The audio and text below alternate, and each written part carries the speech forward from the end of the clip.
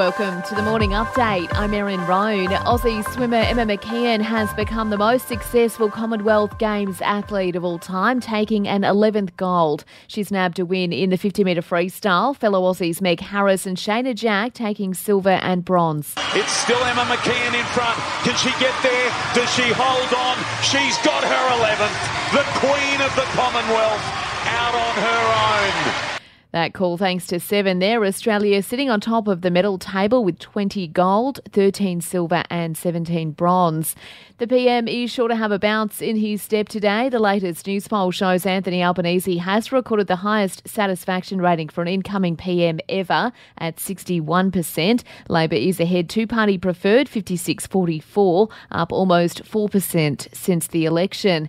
It comes as the PM pushes for a referendum on a First Nations voice in Parliament telling CNN it's a priority for his government. Our priority this term is the recognition of First Nations people in our Constitution. Our history didn't begin in 1788.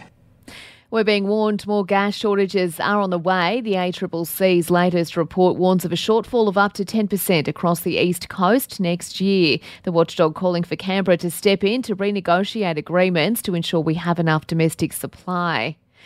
Hundreds of Qantas passengers were stranded on runways across the country yesterday after an IT glitch delayed up to a dozen flights. The nationwide computer problem was uncovered at around 4:30 yesterday afternoon and impacted 12 domestic flights with some being delayed for an hour and a half.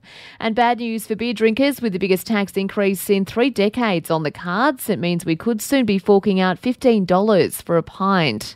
To sport now and it's brought to you by Ladbrokes Mates Mode, the better way to chat, share and and together. T's and C's apply. And remember, gamble responsibly. Call 1 800 858 858.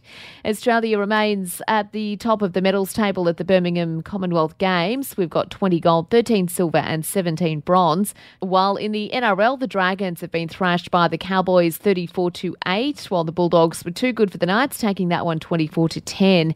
And in the AFL, Richmond has kept its finals hopes alive with a come from behind win over Brisbane at the MCG. And for even more sports news, make sure you check out the Sports Update. You'll find it wherever you're listening to this show.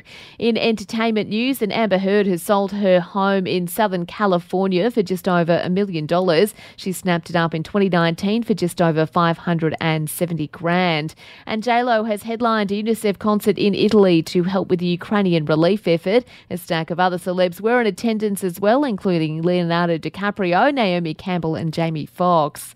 And that's the latest from the Nova Podcasts team. We'll see you later on for another episode of The Update.